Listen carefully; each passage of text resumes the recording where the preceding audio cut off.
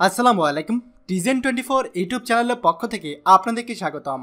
আজকের এবারে খবরে আলোচনা রয়েছে, সৌদি হতে ছুটিতে আসা প্রবাসীদের জন্য সুখবর। সৌদি, কাতার, কুয়েত প্রবাসীদের ভিসার মেয়াদ বাড়ানো হবে, সে বিষয়ে বিস্তারিত। সম্পূর্ণ ভিডিওটি দেখে বিস্তারিত জেনে নেওয়ার অনুরোধ রইল। মধ্যপ্রাচ্যের বিভিন্ন দেশ থেকে যেসব বাংলাদেশি নাগরিক ছুটিতে দেশে এসেছেন বা যারা নতুন করে সেই সব দেশে যেতে ভিসা করেছেন তাদের ভিসার মেয়াদ বাড়ানো হবে বলে জানিয়েছেন পররাষ্ট্রমন্ত্রী এ কে আব্দুল মোমেন। বৃহস্পতিবার রাষ্ট্রীয় অতিথি ভবন পদ্মায় মধ্যপ্রাচ্যের পাঁচটি দেশে রাষ্ট্রদূতদের সঙ্গে বৈঠক শেষে প্রেস ব্রিফিংয়ে এসব কথা বলেন পররাষ্ট্রমন্ত্রী। সারা বিশ্বে মহামারী আকার ধারণ করা করোনা ভাইরাস প্রতিরোধে ঠিক করতে এই বৈঠকের আয়োজন করা হয়। বৈঠকে সৌদি আরব আরব আমিরাত, কাতার, কুয়েত ও ইরাকের রাষ্ট্রদূতরা অংশগ্রহণ করেন।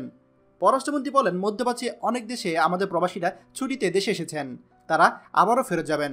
সম্প্রতি তাদের মধ্যে বিভিন্ন ধরনের অনিশ্চয়তা তৈরি হয়েছে।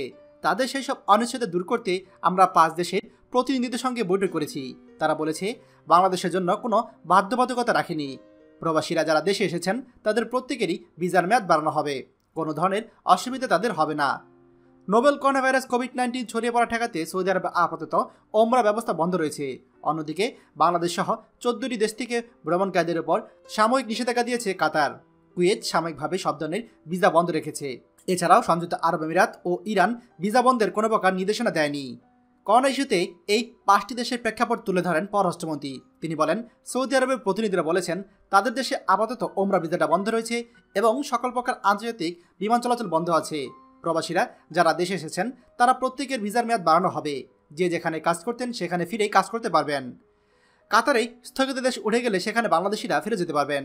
কুয়েত সরকার আপাতত সকল প্রকার ফ্লাইট বন্ধ রেখেছে। এটা সাময়িক। খুব শীঘ্রই পুনরায় চালু করে দেওয়া হবে।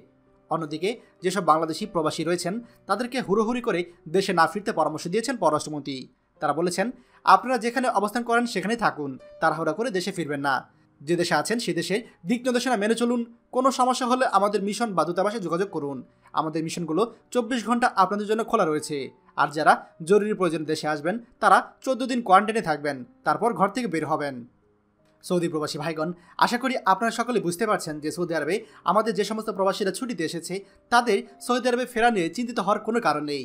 যেহেতু সৌদি আরবের অ্যাম্বাসি থেকে এ বিষয়ে স্পষ্ট ঘোষণা দেওয়া হয়েছে, তাই আমরা আশা করছি আমাদের কোনো প্রবাসী সৌদি আরবে ফেরত যেতে কোনো প্রকার সমস্যা হবে না। খবরটি আমাদের সৌদি আরব সহ সকল প্রবাসীদের সঙ্গে শেয়ার করে সবাইকে এক্ষুনি দেখার সুযোগ করে দিন। আর আপনি যদি আমাদের চ্যানেলে নতুন হয়ে থাকেন, তাহলে অবশ্যই আমাদের চ্যানেলটিকে সাবস্ক্রাইব করুন। সৌদি আরবের সকল গুরুত্বপূর্ণ খবরাখবর সবার আগে পাওয়ার জন্য। ধন্যবাদ সবাইকে। বাংলাদেশের প্রথম প্রবাসী নির্ভর ভেরিফাইড ইউটিউব চ্যানেল টিজেন টোয়েন্টি ফোর তাই দেরি কিসের এখনই আমাদেরকে সাবস্ক্রাইব করুন। সাবস্ক্রাইব করতে সাবস্ক্রাইব আইকনে ক্লিক করুন এবং বেল আইকনটি চাপুন, যাতে আমাদের কোনো নতুন ভিডিও আপনি মিস না করুন।